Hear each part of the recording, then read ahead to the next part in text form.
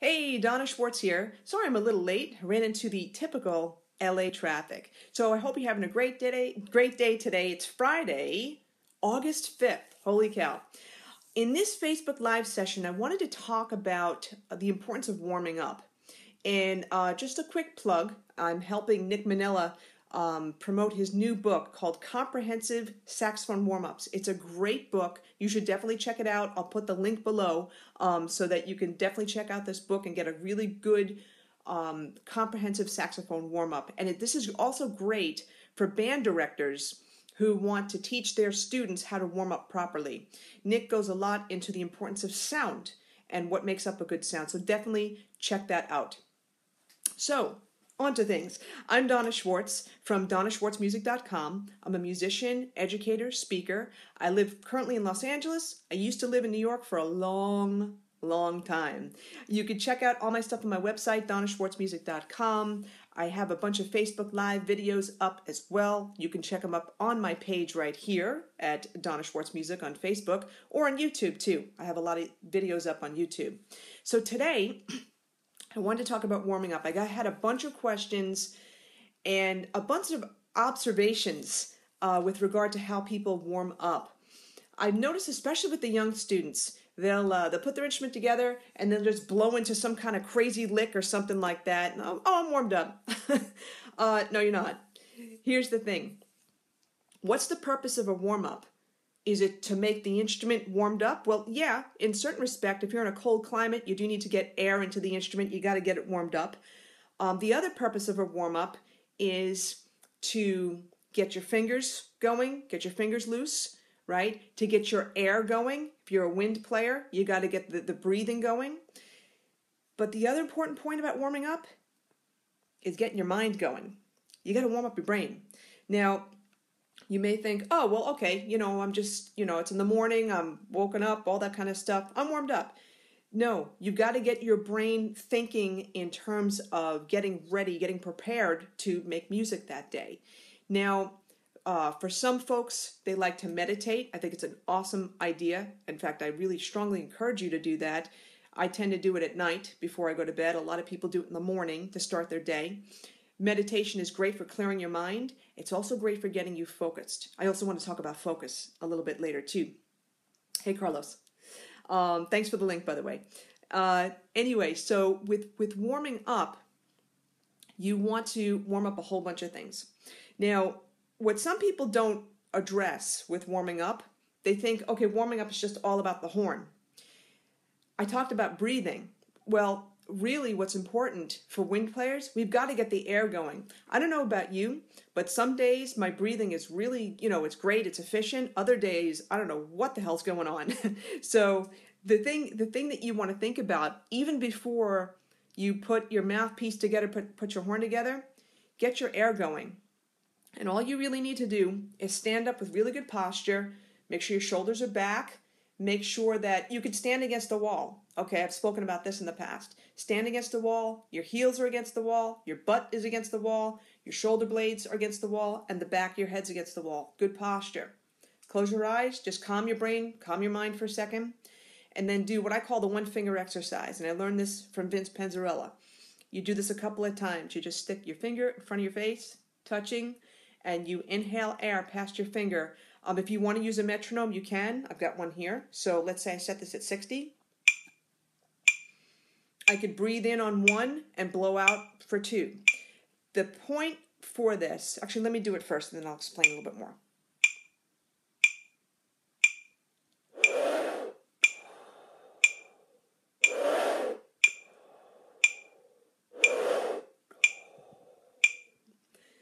The point behind behind this, you want to get that low in, inhalation sound you want to fill totally up, which means you're filling up, you can say your stomach area, your abdomen area, whatever you want to call it.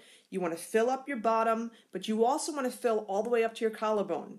Yes, because your lungs go all the way up there. So when you're breathing in, fill up everything.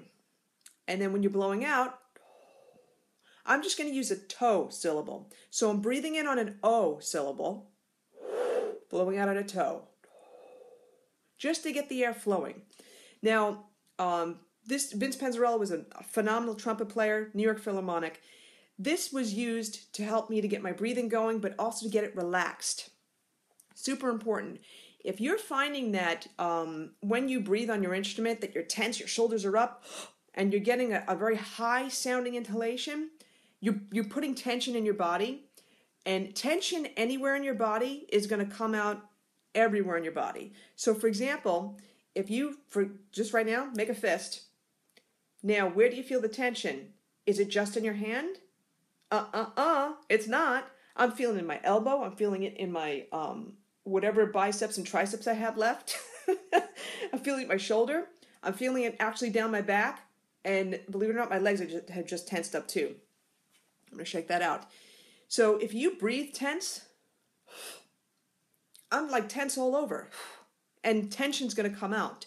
Now, particularly for wind players, and this goes, I mean, string players, you don't have to worry about breathing per se, but um, particularly for wind players, if you take a tense breath, your fingers feel tight too. You don't want that. And even if you're playing trumpet, three valves, it doesn't matter. You don't want tension in your fingers. You, everything needs to be relaxed so that you can function and be efficient in your playing. So um, I'm focusing on warming up, but I'm really hitting the nail on the head when it comes to dealing with breathing and warming up your breathing. So, this one finger exercise I find is really important. Now, you don't have to do this with a metronome, you don't have to put it at 60, you know, you, you don't have to follow exactly what I'm saying. I'm just giving you some suggestions because everybody's different. but here's, here's the thing uh, one idea that you can do again, you can put the metronome at 60, breathe in on one, blow out on three. Breathe in on one, blow out on three. You're taking into account filling up totally all the way up to your collarbone, and then when you blow it out, like a tube of toothpaste, how you're supposed to use a tube of t- toothpaste. If you even know what a tube of toothpaste is, you're supposed to squeeze from the bottom. I don't do it, I know I should, but you're supposed to squeeze from the bottom. So when you exhale, think the same concept. So I breathe in, I fill all the way up from the bottom up, and when I blow out, I exhale from the bottom up.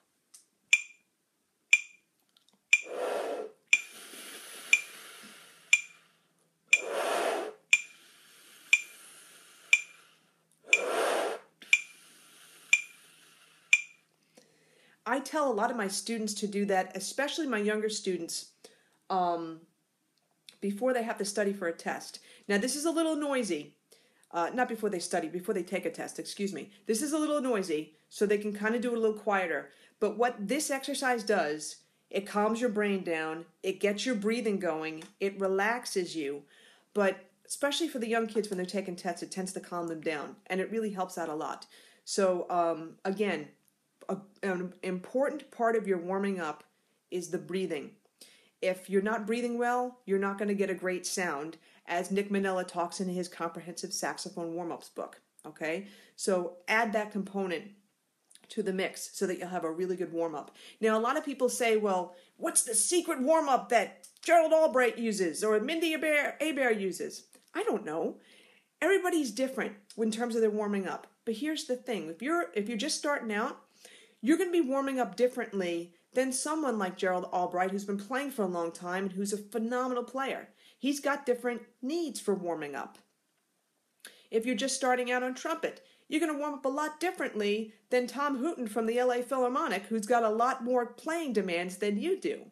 So you have to keep that in mind. So if you're just starting out, a warm up should should include a breathing exercise or two, should include posture check, it should include, um, I would say, playing on the mouthpiece, playing on the mouthpiece neck or barrel if it's a clarinet, uh, mouthpiece for brass instruments. Uh, for the flute, it would be the head joint. You should be doing a few minutes on that. Again, getting the air flowing, making sure that your embouchure is set. Okay, so for especially for uh, brass players, um, from one day to the next, you know, it can go get a little wacky. And the thing with brass playing, we have to spend a little bit more time warming up because this is what's the vibration here in the air, the, the combination and coordination of the two are making the sound. So brass players are going to need to warm up longer than wind players, other woodwind players. So you want to make sure that you've got things going there. And a lot of mouthpiece playing is really super important. Some brass players would recommend buzzing on your lips. Um, I do that on occasion. I used to do it more often. I don't do it as much. Some people are dead set against that. Whatever works for you. Okay, but for beginners, you should be doing some kind of mouthpiece work, mouthpiece neck work for a couple of minutes.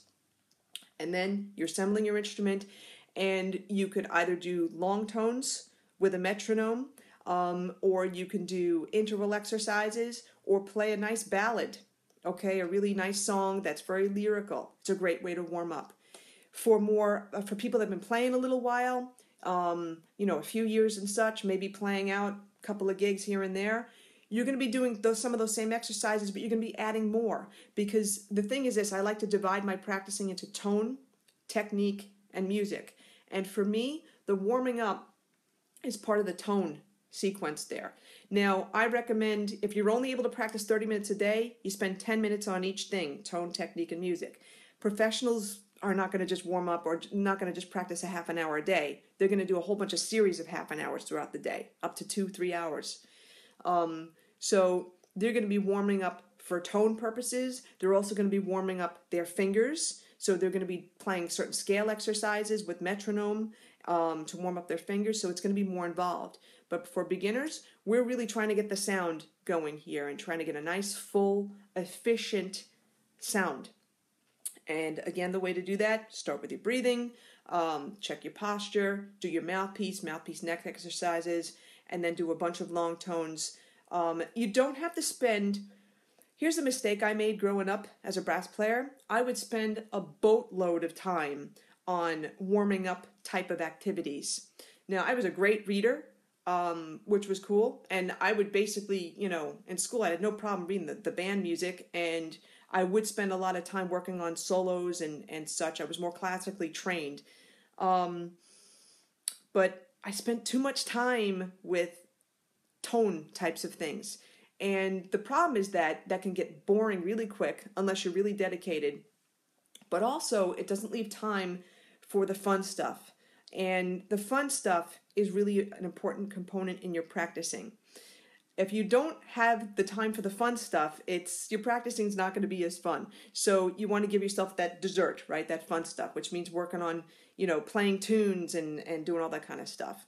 So hopefully this little discussion that we've had about warming up will help you to focus yours. Um, again, everybody's different.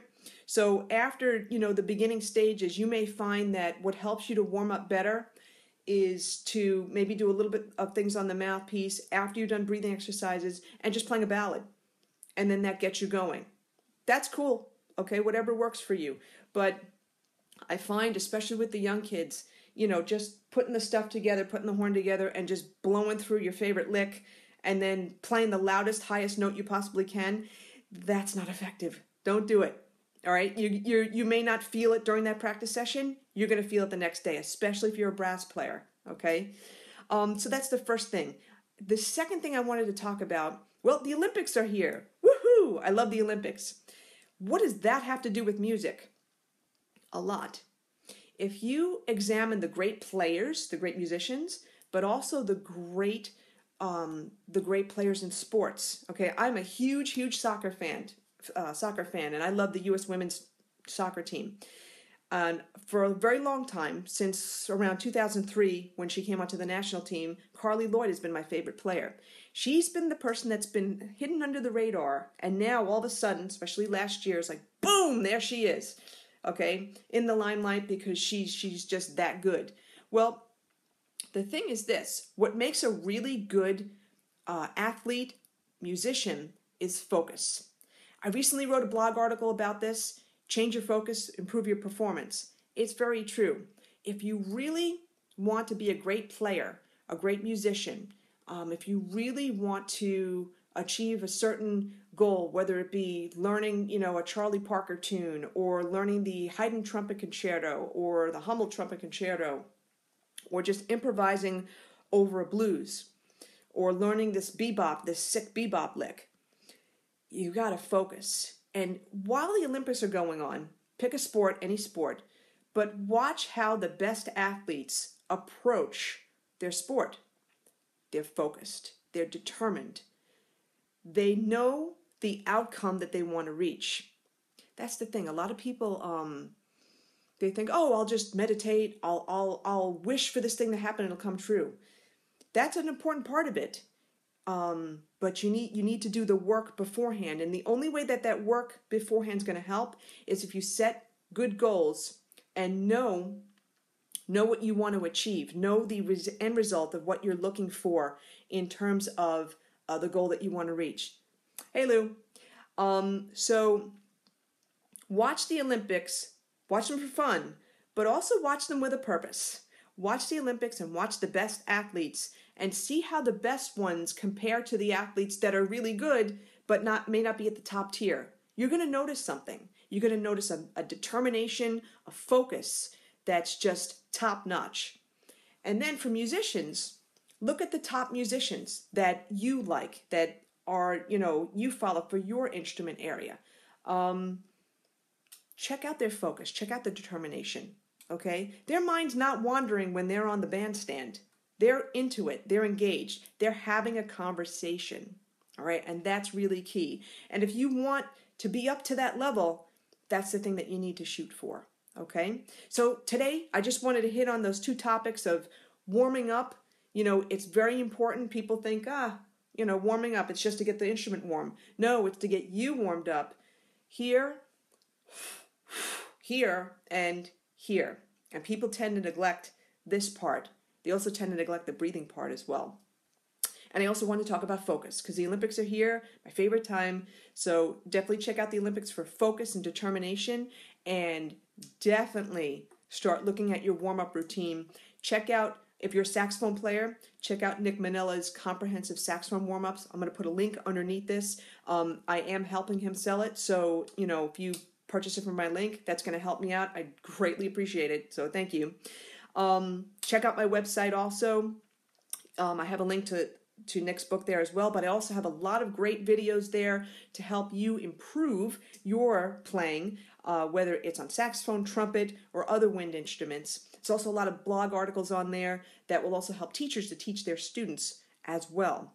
So, uh, oh, by the way, too, if you sign up for my website, you'll get weekly tips every Tuesday, weekly practice tips that will help you to improve your tone, your performance, your mental state when you're performing, performance anxiety, all those types of things.